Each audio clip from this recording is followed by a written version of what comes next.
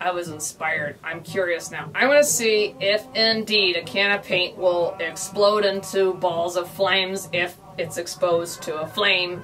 I don't have a cigar ashes or anything, so we're gonna have we're gonna use candle, and I have my my hip joint. I found this in a fleshy, and I almost broke my teeth on it. But then I realized this is really handy because it's hard, you could kind of throw it at fleshies and catch them faster because they fall down. But anyway, I find that it is handy to open paint when zombies have to paint. Anyway, I, have, here we go. Now, I have, a, here's my open can of paint, and I'm supposed to take the candle, and it go boom, and what? No, I wasn't going to blow the studio up, I was just going to see if it caught on fire. Okay, I'm getting people going like this to me because I'm supposed to blow up the studio. Fine, I won't blow up the studio, but, you know, this is, you know, we have to go paint. Anyway, how awful about Allan? Really, how awful is it? Because he, he roasts his daddy, give a cooked fleshy, that's fine by me. And then he kind of partially toasts his sister, but she's still alive, so that's not a big deal. I mean, you know, it's a few scars.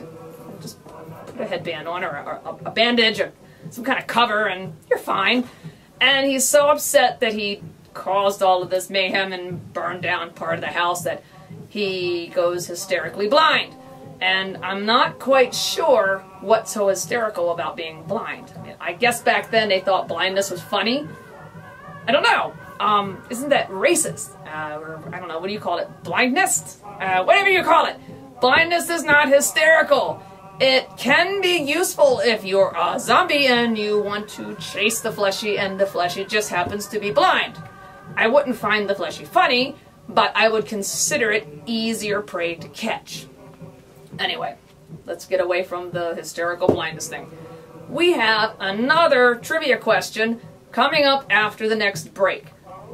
And another super duper prize is associated with it. You can't miss this one. So, how awful about Allan? Let's go check out the movie again and see how awful he is and hysterical and blind and stuff. But anyway,